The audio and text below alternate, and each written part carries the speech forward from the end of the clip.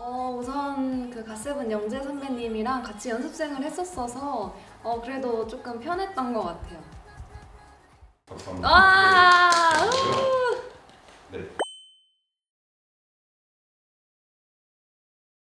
저의 개인적으로 좀 새로운 시도를 해봤는데요. 이 앞머리를, 이 잔머리를 잘랐어요. 그래서 뮤직비디오 때 이 잔머리를 잘랐는데, 그래서 요, 요런, 요런 스타일링을 했었는데, 다시 길어서, 왜냐면 뮤직비디오랑 앨범 자켓은 거의 3개월, 4개월 전에 찍었거든요. 그래서 그 후로 여기까지 또 길러서 오늘 다시 활동을 위해서 다시 잘랐습니다.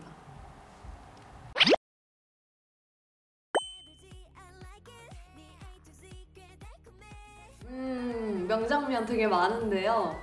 저는 그 제가 블랙 착을 입고 앞을 보다가 찰랑 뒤를 돌아보는 그런 씬이 있거든요. 제가 샴푸 광고 모델로서 정말 잘했다고 생각이 들었습니다. 보고 있나?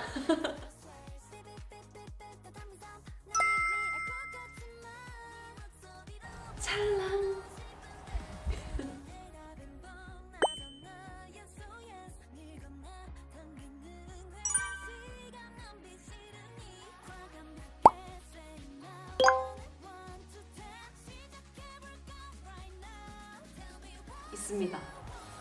계획 있습니다. 올해 안에 있습니다.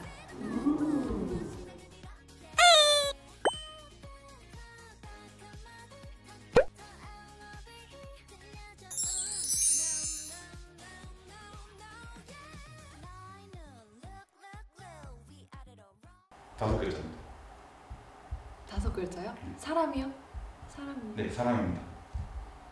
남자예요? 네, 남자입니다. 아이돌? 네, 아이돌입니다. 라디오 DJ? 네, 라디오 DJ입니다. 방금 봤다? 네, 방금 봤습니다. 너무 쉬운데요? 갓세븐 영재? 딩동댕.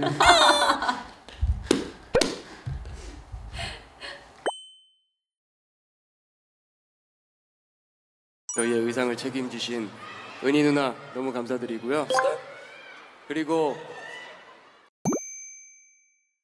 스컬!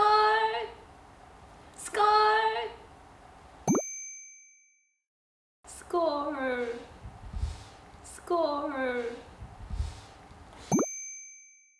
스컬! 스컬!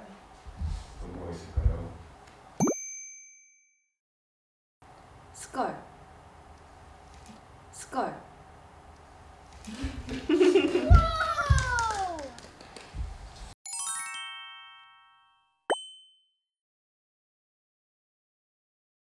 와!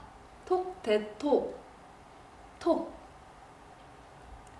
톡, 대, 톡으로 컴백을 했습니다. 그리고 제가 작사한 노래 또 있는데요. 대.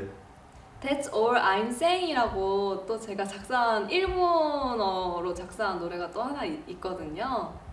토크 오늘 어, 라디오 친친 즐겁게 하다 갑니다. 감사합니다.